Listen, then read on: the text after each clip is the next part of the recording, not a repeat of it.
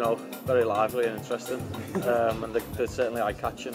Um, for me, the most important thing has always been the feel, and that's why I've, I've kind of worn Predators sort of right throughout, really, because of that that reason. I've sort of seen them evolve in terms of, you know, from when I first probably wore them to where they're at now. It's a different boot almost, but it's in a, it's a better boot. It fits great. You can sort of wear them straight away. You don't normally there's like a wearing in process and, and all that sort of stuff, but you know you can slip straight into them and say that's the most important thing for me is, is how they feel when I put them on.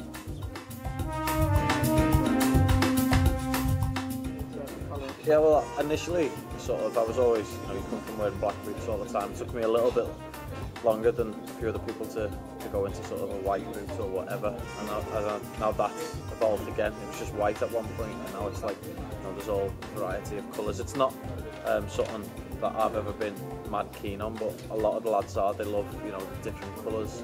I'd say for me, it's, it's how I feel in them is, is the sort of fundamental thing when it comes to my boots. But I know my two little boys as well.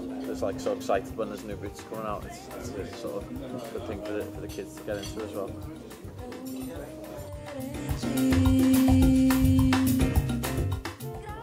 Um, I remember when I was younger.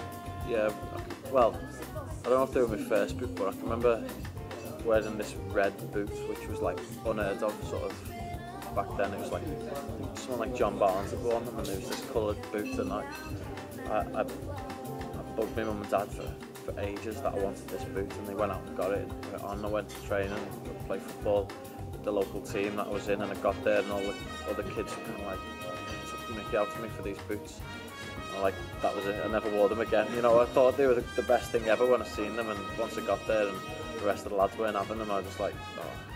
My mum and dad weren't best pleased with me. I think they saved up for a few weeks to get me.